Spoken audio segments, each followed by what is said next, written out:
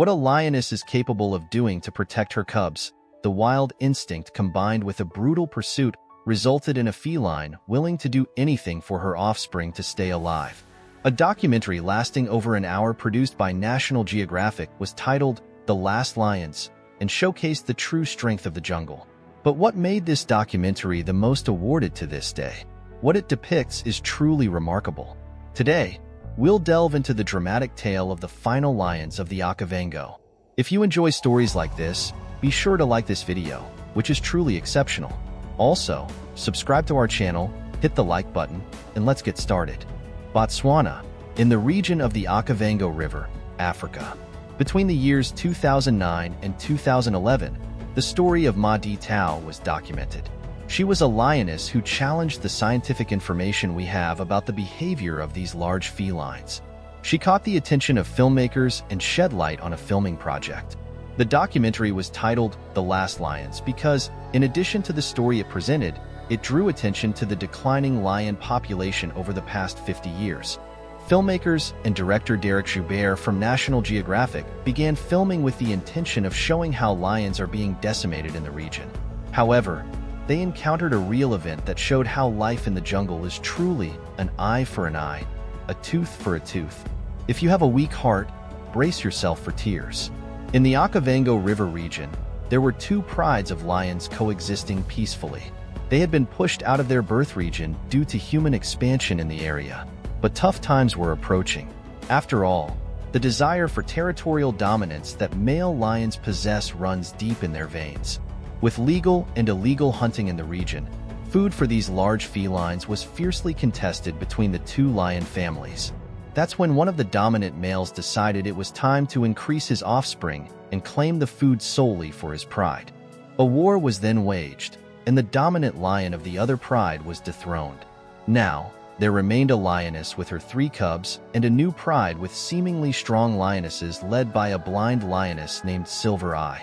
The widowed lioness understood perfectly what would come next to preserve her life. She needed to submit to the new leader, but she would see her three cubs eliminated. Something stirred within this lioness, and she began to forge a completely new path in the world of lions. Ma Di Tau, meaning the mother of lions, was immortalized with this name. Ma Di Tau fled with her cubs, refusing to submit to a new leader. But her journey from there would become even more bitter. The only place where Ma Tau would have a chance to survive was on Delta Island in the Okavango, a small island located in the center of the Okavango River where buffalo lived. There, she would find food and could establish herself. If she stayed near the river, the lioness Silver Eye and her male leader would execute her cubs. If she ventured into human lands, humans would sacrifice them. The island was her only option. But lions dislike water, they know the dangers that African rivers represent. However, there was no other possibility for Ma Di Tau.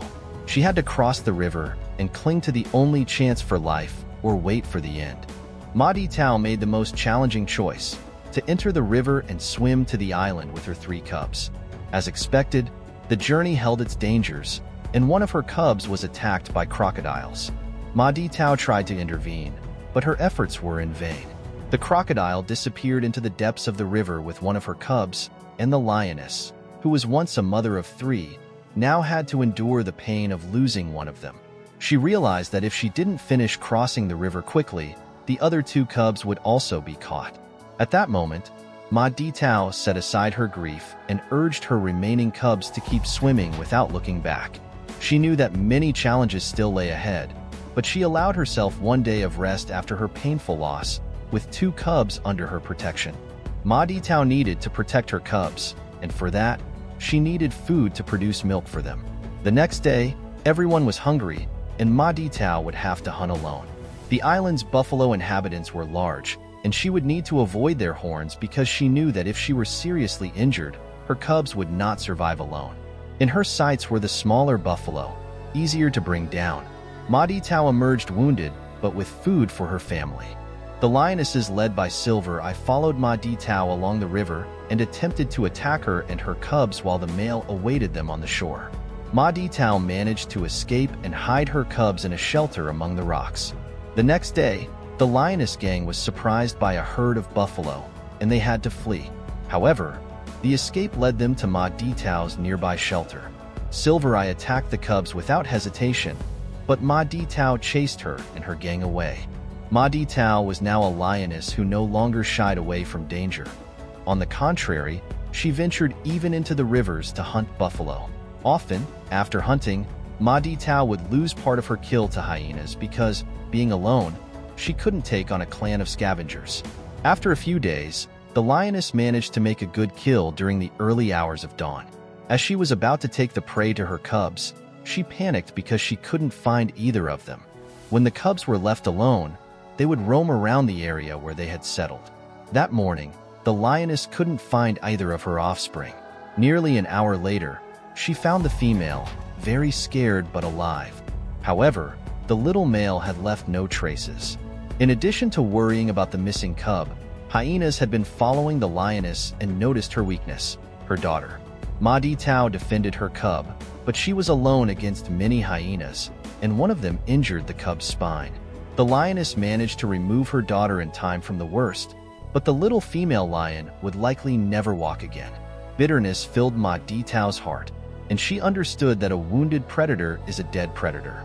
She withdrew, leaving her cub to succumb to the jungle's force. Ma Di Tau is no longer the mother of lions as her name suggests, for her legacy has been left to death. She is now a solitary lioness suffocated by failure, but still insists on continuing her path. The solitary lioness indeed seems to be suffering from grief and failure, and to drown out her emotions, she goes hunting. But this time, she doesn't aim for the smallest buffalo but the largest of them. It's as if she wants to end her life of despair. The buffalo managed to escape, but the pain of the solitary lioness was still present. The Lioness gang returned and attacked Ma Di Tau, who didn't retreat and face the danger because now she has nothing left to lose. And something completely changed the scenario. Ma Di Tau won the confrontation with Silver Eye, the leader, and now the new dominant leader is Ma Di Tau. Led by Ma Di Tau, they hunt along the river, and amidst a buffalo herd, a sound catches Ma Di Tau's attention. Her male cub was alive. Her maternal instinct immediately turns to protecting him and all the lionesses decide to help Ma Di Tau protect her cub. Together, they advance and separate the buffalo herd, and they even manage to catch a good feast. The cub witnesses everything and learns that hunting is what lions do best. The lionesses seem to be unified, and together they will protect the young male who may one day become king among them. If you want more details, the documentary is available on YouTube. Leave a like and consider subscribing. Thank you for watching.